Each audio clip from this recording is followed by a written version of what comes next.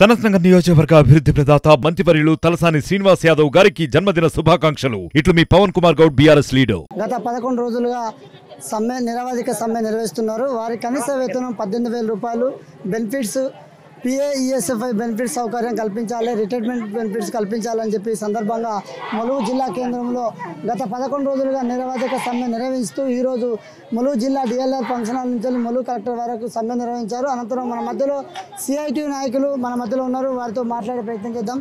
చెప్పండి ఎప్పటి నుంచి సమ్మె నిర్వహిస్తున్నారు? ఇరవై ఐదవ తారీఖు నుండి సమ్మె ప్రారంభమైంది. ప్రధాన డిమాండు ఆరోగ్య తెలంగాణ కోసం నిరంతరం సమయం సందర్భంలో ఇక్కడ పనిచేస్తూ ఉన్నారు.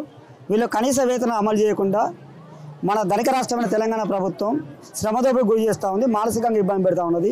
వీళ్ళు నెలంతా పనిచేసిన నెలంటూ అంటే ఆదివారం కూడా సెలవు లేదు ఏ రోజైనా పనిచేసుడే ఎప్పుడు చెప్తే పనిచేసుడే. ఏఎన్సీ కానీ పిఎన్సీ కానీ ప్రతిదీ పని చేయడమే. ఆ పని చేసినాక లాస్ట్కు రిపోర్ట్ పరంగా వచ్చే వరకు మీ కేసులు లేవని చెప్పడం ప్రైవేట్ హాస్పిటల్లో డెలివరీ అని చెప్పడం ఆ సమస్యలతో మీరు పారితోషికాలు పరిస్థితి లేదు. ప్రభుత్వం మాత్రం తొమ్మిది వేల ఏడు వందల యాభై రూపాయలు వేస్తామని చెప్తుంది కానీ పనిని బట్టి పారితోషిక పద్ధతి పెట్టి ఆరు వేలు ఏడు వేలు ఎనిమిది వేల రూపాయలు మాత్రమే వస్తూ ఉన్నది. మన పక్క లాస్ అయిన రాష్ట్రం మన ధనిక రాష్ట్రం ఆంధ్రప్రదేశ్లో మూడు సంవత్సరాలుగా జగన్ గారు పదివేల రూపాయలు ఫిక్స్డ్ వేతనం ఇస్తూ ఇతర సౌకర్యం కల్పిస్తూ ఉన్నారు.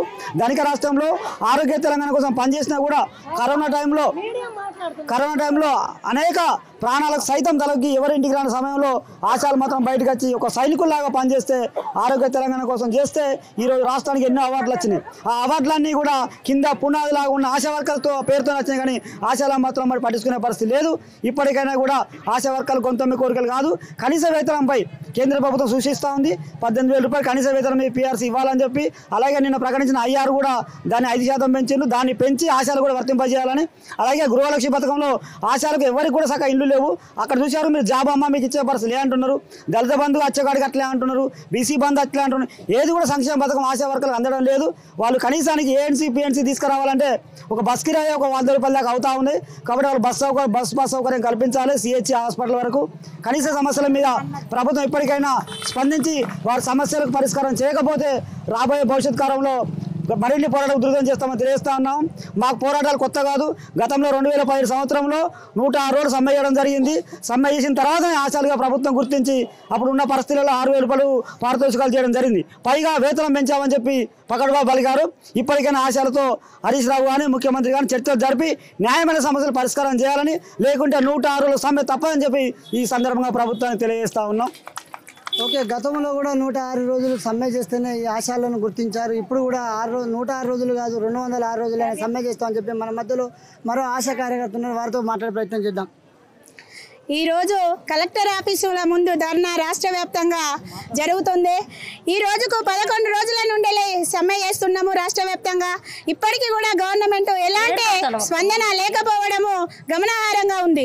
ఇప్పటికైనా గవర్నమెంట్ స్పందించి మా న్యాయమైన డిమాండ్స్ను ఒప్పుకొని మాకు ఫిక్స్డ్ వేతనం చేయాలనేదే మా డిమాండ్.